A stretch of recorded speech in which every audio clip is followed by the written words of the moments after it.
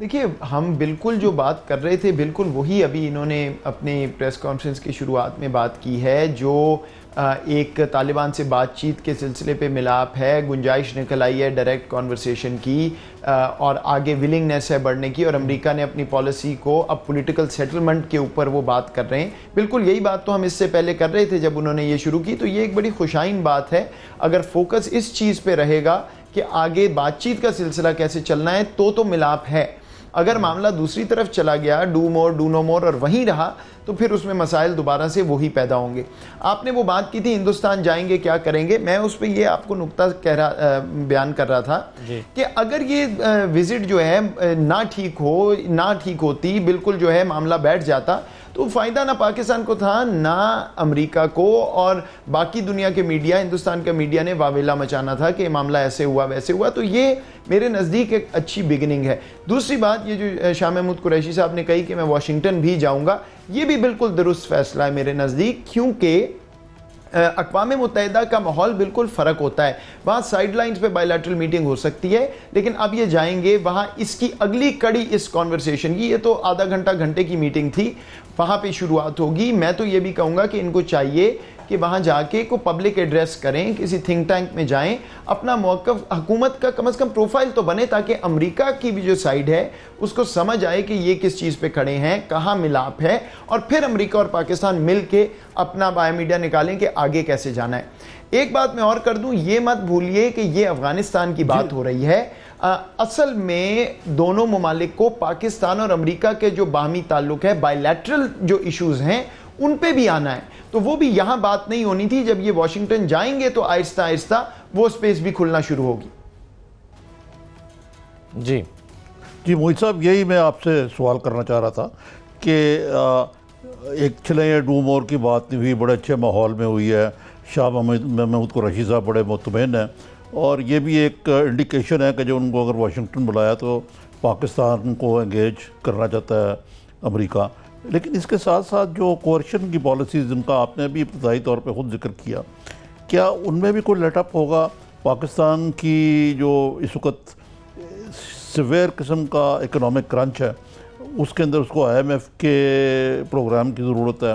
اس بارے میں بھی کوئی وہ کوئی گرین لائٹ دیں گے۔ تیسرے کہ جو چین کے بارے میں انہوں نے بہت زیادہ بات شروع کر دی ہے امریکہ نے، یہ دباؤ کا موقع، ایک سوال یہ ہے دوسرا ہے جو ظلم خلیل ذات ہیں، جو ذات آئے ہیں، یہ تو بڑا شرپسند آدمی ہے۔ اب یہ لگ گیا ہے ambassador special for Pakistan and Afghanistan یہ پہلے بھی ایمبیسڈر رہے ہیں امریکہ کے افغانستان میں۔ اور بڑے اینٹی پاکستان قسم کے ان کے ویوز ہیں۔ تو یہ بھی کوئی ٹھنڈے پڑیں گے؟ نظامی صاحب، آپ کے دونوں سوالوں کا جواب میرے نزدیک منفی میں ہے۔ امریکہ کی جو پریشر کی پالیسی ہے، وہ آپ uh, ٹرمپ انتظامیہ کو ہم جو بھی کہیں، ایک بات انہوں نے بالکل کھل کے کیا ہے کہ یہ پریشر کی پالیسی اپنائیں گے اور انہوں نے اپنائی بھی ہے، ہمیں نظر بھی آیا ہے۔ تو وہاں پہ میں آپ کو یہ بتاؤں، بدقسمتی سے پاکستان پہ ایسا منفی کنسنسس ہے کہ شاید دنیا کا اور کوئی ملک نہیں ہے جس پہ اتنا اگریمنٹ ہے تمام سیاسی حلقوں میں کہ وہ ایک پاکستان کے خلاف جو بات ہوتی ہے اس پہ سارے ہاں کرتے ہیں۔ اس کی جو بھی وجوہات ہیں وہ علیحدہ ہیں۔ لیکن وہاں کی ڈومیسٹک سچویشن میں یہ لیٹ اپ نہیں ہوگا۔ یہ کوئرشن کی پالیسی یہ سٹیٹمنٹس یہ باتیں ساتھ ہوں گی۔ اور ایک اوپننگ کا رستہ نکالا جائے گا اور اس میں مسئلہ یہ ہے کہ جو افغانستان میں حالات بہتر ہونے ہیں، اگر ہونے ہیں، اس کی ٹائم لائن کوئی آج، کل، پرسوں نہیں ہے، اس میں کئی ماہ لگ جائیں گے یہ بات چیت کا سلسلہ شروع ہونے میں۔ تب تک یہ کوئرجن کی پالیسی جو ہے، یہ میرے نزدیک اسی طرح رہے گی۔ یہ آئی ایم ایف کا پیکیج وہ امریکہ الٹیمیٹلی روکے گا نہیں یا روک نہیں سکتا، وہ آئی ایم ایف کا فیصلہ ہوگا۔ لیکن یہ جو بات ہے کہ اگر جو کشیدگی ہے تعلق میں، جو روز ایک مڈ سلنگنگ ہے، وہ ختم ہوگی اور آگے معاملہ بڑھے گا تو وہ ایک دو وزٹ سے نہیں ہونے والا۔ وہ معاملہ بھی چلے گا، لیکن پھر بھی ضروری ہے میرے نزدیک کہ پس پردہ کوئی وایا میڈیا نکلے، کوئی ایسا موقع ملے جس سے افغانستان پہ ایک ملاپ ہو تاکہ باقی بائی لیٹرل جو کانورسیشن ہے، جو امریکہ کو بھی چاہیے، پاکستان کو بھی چاہیے اس پہ بھی معاملہ آگے بڑھے۔ صرف جو یہ تنقید ہوگی پبلک میں اور وہ ہوتی رہے گی جیسے میں نے کہا اس سے معاملات کو رکنا نہیں چاہیے۔ اگر پاکستان سے بھی تنقید ہوتی ہے وہ بھی ہوگی کیونکہ اس حکومت کا ایک موقف ہے۔ امریکہ کو بھی اس کی وجہ سے تعلق ڈیریل نہیں کرنا چاہیے۔ جہاں تک آپ کا سوال ہے ظالم خلیلزاد کا۔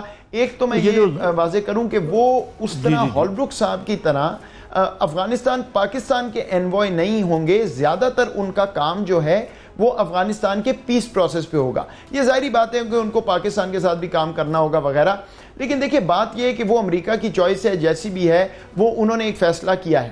اب ظالم خلیل زاد صاحب نے کام کرنا ہے تو پاکستان کو بھی ایک موڈس آپرینڈی ڈھونڈنا ہے۔ ایک پوائنٹ پرسن جو ہے، وہ اس پہ اپوائنٹ کرنا ہے۔ میں انوائے کی بات نہیں کر رہا، جو بھی اس کو آگے لے کے چلے گا، چاہے وہ شاہ محمود صاحب خود ہوں یا جو بھی ہے اور ایک چینل بنانا ہے کمیونیکیشن کا۔